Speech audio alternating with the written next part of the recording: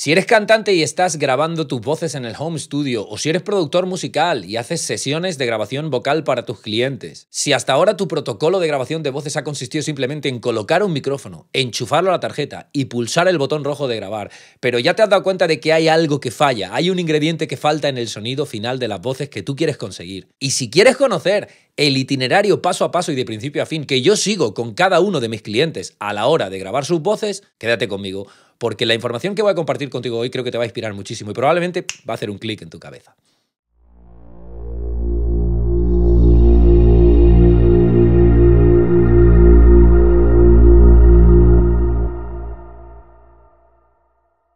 Saludos, camarada de produceaudio.net, bienvenido a este tercer vídeo de grabación de voces en tres pasos en los dos vídeos anteriores vimos la materia prima por un lado y luego todas las decisiones de preparación técnicas y en el vídeo de hoy nos toca hablar del día G, nos toca hablar del día de la grabación. Porque tener un buen plan de ataque, tener un buen mapa de todo lo que hay que hacer para conseguir el resultado que quieres conseguir va a evitar que tus sesiones de grabación sean sesiones interminables y sesiones donde la suerte y el azar probablemente tienen más importancia y más peso que la propia calidad y que el propio control del trabajo que estás haciendo. De hecho, irte a una sesión de grabación sin haber trabajado la materia prima como te conté en el primer vídeo de grabación de voces en tres pasos, o sin haberte preocupado por todos los detalles técnicos y la preparación, como te conté en el segundo vídeo, pues acabará poniendo en riesgo la calidad final de tus tomas vocales. Recuerda que la meta no le meta, la meta es llevarte ya a las pistas en crudo con el 75 o el 80% del sonido final que tú has diseñado y del sonido final que aparecerá en el máster final de esa producción en la que estás trabajando. Y la única forma de conseguir pistas en bruto que suenen ya al 75 o al 80% de su sonido final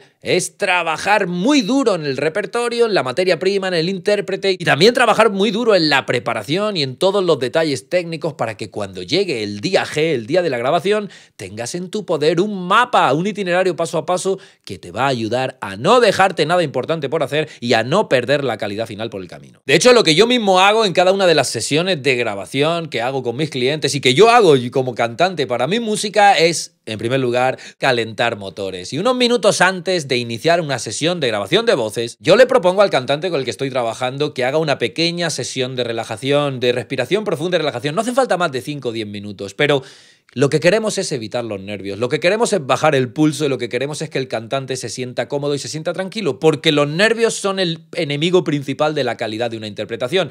Y de nuestro cantante necesitamos la mejor interpretación posible porque como te conté en vídeos anteriores, el 95% de la calidad final de su toma vocal depende de él. Por eso lo importante es que esté cómodo. Y en primer lugar, un poquito de relajación, un poquito de, digamos, fuera estrés, vamos a aislarnos del mundo y vamos a centrarnos en lo que tenemos que hacer siempre ayuda. Por otro lado, yo ayudo a los cantantes con los que trabajo a que hagan una sesión de estiramiento vocal de, bueno, 15-20 minutos y pongan su garganta al 100% antes de pulsar el botón rojo y empezar a darme tomas, porque lógicamente, igual que cuando llegamos a una pista polideportiva a competir, no salimos corriendo sin haber calentado, cuando llegamos a una sesión de grabación de voces no podemos empezar a cantar sin haber hecho digamos, una previa de calentamiento para que el aparato fonador esté al 100% de su potencial y así pues le permita al cantante entregar el 100% de la calidad vocal que él o ella puede entregar. Por último, aunque parezca una tontería, yo me preocupo también por darle al cantante con el que estoy trabajando una botella de agua del tiempo, nunca fría, o incluso una taza con una infusión para que pueda beber un poquito antes de grabar e incluso pueda ir bebiendo y dando pequeños sorbitos a medida que me va entregando tomas, para que mantenga la garganta hidratada en todo momento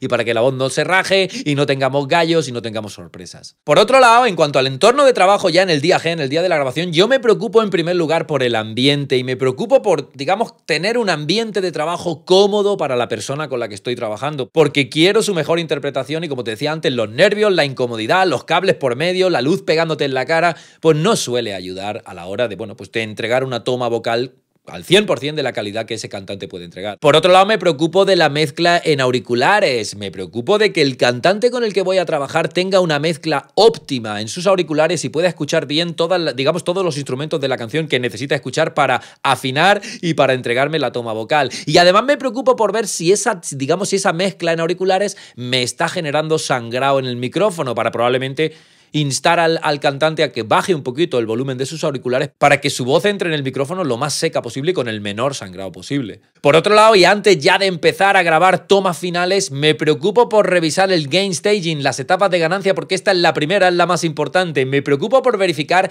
que el input, que la ganancia de entrada en mi DAW, desde que él canta hasta que el audio incide en el DAW, es la correcta, entre menos 18 y menos 15 dBs full scale, que es el equivalente a 0 dBs búmetro analógicos, ¿vale? Porque lo que no quiero es, una vez que he estado trabajando con el cantante, con la materia prima, con las decisiones técnicas, que hemos hecho el calentamiento, que todo está listo, de repente malograr una sesión de grabación porque el input, porque la ganancia de entrada no es la correcta, porque estamos clipeando en el rojo y hemos destrozado el audio, o porque nos hemos quedado súper abajo en la ganancia y cuando intentamos subirla todo el ruido de ambiente se cuela. Es decir, me preocupo porque el nivel de entrada sea el nivel más óptimo posible para el entorno digital en el que trabajo. Una vez que nos hemos encargado del calentamiento, que nos hemos encargado de la hidratación, que nos hemos encargado de crear un entorno de trabajo cómodo para el cantante, incluso que nos hemos encargado de la mezcla en auriculares y de todo lo que tiene que ver con el rollo técnico, antes de pulsar el botón rojo debemos decidir el modus operandi. Como te dije en vídeos anteriores, tú podrías ir grabando al cantante por tramos e incluso pinchando al cantante a medida que va cantando si quieres. Pero si quieres ganar un extra de calidad, yo te recomiendo que valores la grabación de tomas completas. En todo caso, en primer lugar, debes verificar que ahora que tienes la mezcla en auriculares correcta y que tienes todo listo, tu cantante y el micrófono están posicionados en el mejor lugar posible. Es decir, una vez que has hecho la prueba de sonido, recoloca a tu cantante, recoloca tu micrófono, reevalúa tu mezcla en cascos para asegurarte de que la entrada es exactamente lo que tú estás buscando. Y por otro lado, pídele a tu cantante que te dé 4, 5, 6 tomas vocales completas de la canción. De hecho, como te conté en vídeos anteriores, es muy importante que el cantante esté entrenado, que el cantante conozca el repertorio, que conozca el estilo, que conozca la letra, porque debería estar capacitado para entregarte tomas completas. Si no está capacitado para ello, pues no te va a quedar más remedio que ir chapuceando e ir pinchando. Pero lo ideal es que un músico que entra en un estudio esté listo para entregarte una toma completa de la interpretación que va a grabar. Y como te decía, solo tienes que pedirle que te dé 3, 4, 5 tomas vocales completas para luego luego poder hacer tú un comp de voces. Ahora te voy a enseñar cómo, pero piensa que cuando un cantante canta la misma canción cuatro, cinco, seis, siete veces, empieza a apagarse, empieza a aburrirse, empieza, digamos, a empantanarse y a automatizar un montón de cosas y a perder fuerza, a perder garra y probablemente la séptima o la octava toma de una voz pues no va a ser igual de buena que la segunda o la tercera. Por eso yo creo que con cuatro o cinco tomas debería ser suficiente. De hecho, podrías, antes de terminar la sesión de grabación, analizar esas cuatro o cinco tomas y si ves que hay algún error o algún problema recurrente en un tramo, en una estrofa, en un puente, a lo mejor sí que podrías simplemente pinchar al cantante en ese tramo y que te lo repita hasta que esté bien, para poder llevarte cinco o seis tomas completas más dos o tres o cuatro tomas de esos puntos donde crees que el cantante tiene que prestar atención para, bueno, pues para tener al final una toma vocal completa que no tiene problemas técnicos en ninguno de los tramos de la canción. De hecho, nos vamos a ir ahora a Pro Tools y voy a compartir contigo una sesión de grabación que ya está terminada, donde vas a poder ver la implementación práctica de todo lo que estoy compartiendo contigo. Fíjate en esta grabación de voces como, bueno, pues yo he ido grabando distintas tomas completas de la canción para tener una toma 1, una toma 2, una toma 3, una toma 4 e incluso luego he detectado un par de zonas donde, bueno, pues estaba teniendo problemas para afinar y para entonar bien y he grabado simplemente una toma complementaria para esas dos zonas que son dos estrofas. Una vez que tengo mis tomas finales, yo lo que he hecho ha sido ir generando un comping de voz eligiendo de cada una de las tomas la sílaba que más me interesa. Fíjate que yo puedo poner la voz en solo y puedo ir eligiendo entre los distintos canales. Oh, Shadow Strike again. Oh, Shadow Strike again. Oh, Shadow Strike again. Oh, Shadow Strike again y puedo ir incluso seleccionando si este tramo me gusta, simplemente pulso aquí y él me lo sube al comp final. Fíjate que yo he ido escuchando cada una de las tomas paso a paso, sílaba a sílaba, letra a letra, y he ido eligiendo la toma que más me interesaba para cada uno de los tramos de mi canción. Y luego me he asegurado de tener mucho cuidado con las respiraciones y con los crossfades para que no haya saltos y para que la voz se escuche de forma natural y, y digamos sin cortes, sin ruidos y demás. Oh, shadow strike again. I can hear every breath you take. Fíjate que aquí hay una intersección donde yo estoy aprovechando, fíjate que no he tenido ni que hacer un crossfade aquí, pero se puede hacer un crossfade para aprovechar, digamos, las respiraciones de cada uno de los tramos y que no haya sobresaltos y que no haya artefactos raros. Oh, friends, play again. The classic blend of love and pain. Fíjate que yo estoy combinando distintas tomas de la interpretación, de las distintas tomas totales que tengo aquí.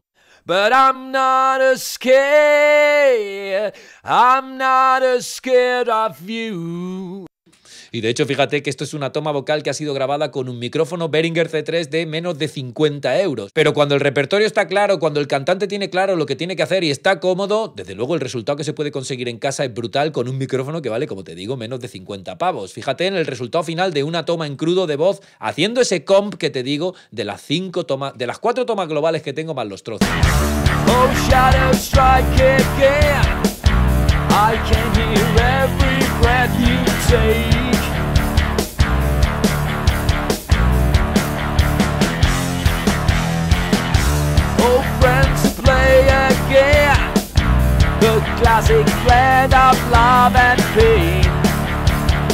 Por último, una vez que yo he grabado estas cuatro tomas vocales más el complemento y he hecho el comp final de la voz final que me voy a llevar, me he dedicado a grabar coros, simplemente dos pistas de coro, una L y una R para cada uno de los tramos donde tiene que haber coro. Y claro, una vez que yo tengo la pista final de voz, es muy fácil grabar el coro sobre esa pista final y luego incluso editarlo y moverlo un poquito para que se clave cuanto más mejor, digamos, a la voz definitiva. Por eso es muy importante y yo luego siempre con mis clientes y con mis producciones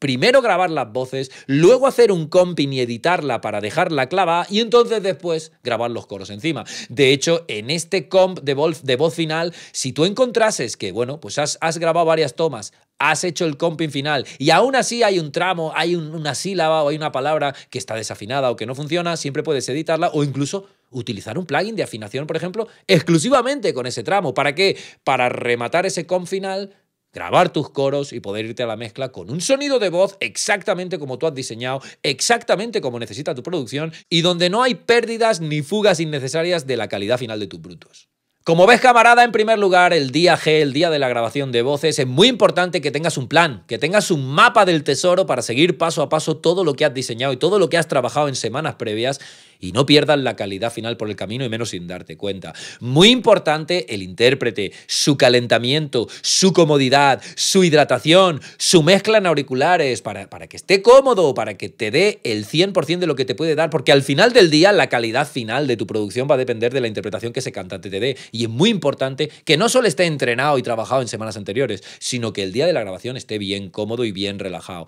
Por otro lado, importante el gain staging, el input de entrada para no lograr tus tomas sin darte cuenta. Muy importante el sangrado de auriculares en el micrófono para tener una toma vocal tan seca como sea posible y con el menor sangrado posible. Y por último, muy importante el modus operandi, el intentar grabar tomas completas para preservar la naturalidad, para preservar la garra, para no ir, digamos, pinchando y hacer un Frankenstein cuando podemos hacer una toma vocal completa que es como se consume la música en directo, un cantante que te canta una canción de principio a fin. Para que no haya saltos, para que no haya cambios de textura y para que tengas una toma vocal vocal final tan profesional y tan conmovedora como sea posible. De hecho, si te ha gustado este vídeo, me gustaría mucho que le des un like, que te suscribas al canal, que le des a la campanita y que lo compartas, pues bueno, con aquellos que creas que se pueden ver beneficiados de un contenido como este. Y sobre todo, déjame un comentario debajo del vídeo y cuéntame cómo llevas a cabo tú tus sesiones de grabación, qué factores tienes en cuenta a la hora de darle comodidad y de darle confianza a tu cantante, qué factores tienes en cuenta a la hora de preocuparte por gain staging, por el sangrado de auriculares, por la mezcla en auriculares y por todo lo que tiene que ver con el lado técnico y también que me cuentes si tú prefieres hacer tomas completas como hago yo o si tú eres de los que van pinchando y van haciendo un Frankenstein o si eres de los que cantan una toma de la estrofa, luego se van a la segunda estrofa, una vez que tienen las estrofas van al estribillo, no lo sé, que compartas conmigo y con el resto de la comunidad, pues tu forma de trabajar y tu forma de grabar voces, porque estoy convencido de que lo que compartas con nosotros nos va a inspirar y nos va a ayudar muchísimo. Por último, si estás interesado en la grabación de audio profesional en entornos limitados, quiero invitarte a un entrenamiento en vivo, online y 100% gratuito que se llama Cómo grabar audio profesional y conseguir pistas en bruto que virtualmente se mezclen solas, es decir, que estén al 80, 85, 90% del sonido final que buscas para esa producción. En esta masterclass gratuita quiero ayudarte a conseguir multitracks de calidad profesional en tiempo récord, con tu micro, con tu interface, con tus plugins o con previos analógicos si los tienes, es decir, sin tener que comprar nada más. La vamos a celebrar en vivo el próximo jueves 2 de febrero a las 8 y media, horario español, y en esa masterclass vamos a trabajar en primer lugar en el repertorio, en ese análisis y en esa mejora de la materia prima de tus producciones musicales, porque el repertorio es el ingrediente esencial y tiene que estar al 100%. En segundo lugar, vamos a hablar de intérpretes y de las garantías de éxito o de fracaso cuando se trabaja con músicos, que son los verdaderos protagonistas de tus sesiones de grabación. En tercer lugar, vamos a hablar de objetivos estilísticos y de cómo trazar el mapa del tesoro hacia el sonido que tú deseas en línea recta y sin lagunas para tenerlo todo claro y todo controlado antes de pulsar el botón rojo. En cuarto lugar hablaremos del diseño sonoro de toda producción musical, porque es la única forma de acertar en el centro de la diana y no liar la parda por el camino y perder la calidad sin darnos cuenta. También hablaremos en quinto lugar de microfonía, vamos a ver tipos de micrófonos y sus peculiaridades propias para que aprendas a elegir entre los distintos micrófonos que tienes a tu alcance y aprendas a exprimirlos a tu favor. También hablaremos en sexto lugar de previos, de preamplificadores analógicos, que son las cajas tonales de tu arsenal de recursos para sonar como tus artistas favoritos, porque en todo estudio analógico se utilizan. De hecho, aprenderás también en séptimo lugar el concepto de estudio infinito, que es un concepto revolucionario que va a multiplicar el poder sonoro de tu DAW y de tus plugins actuales y te va a ayudar mucho, especialmente si tú no tienes a tu alcance previos analógicos. También voy a compartir contigo, por supuesto, un montonazo de tips 100% aplicables. Mis mejores técnicas aprendidas y perfeccionadas con el método de ensayo y error a lo largo de 26 años para que puedas conocerlas y aplicarlas en tu entorno actual. Verás que te van a ayudar muchísimo a transformar tus grabaciones para siempre. E incluso vamos a tener una ronda de preguntas y respuestas en vivo para que puedas conectar conmigo y con el resto de participantes para que puedas resolver tus dudas y tus preguntas y para que puedas compartir tus ideas en tiempo real. No te lo pienses, reserva tu plaza gratis cuanto antes en el enlace que está apareciendo en pantalla y que tienes en la descripción de este vídeo, produceaudio.net barra grabación. Nos vemos allí, en las redes sociales o donde tú quieras. Que tengas un gran día. Chao.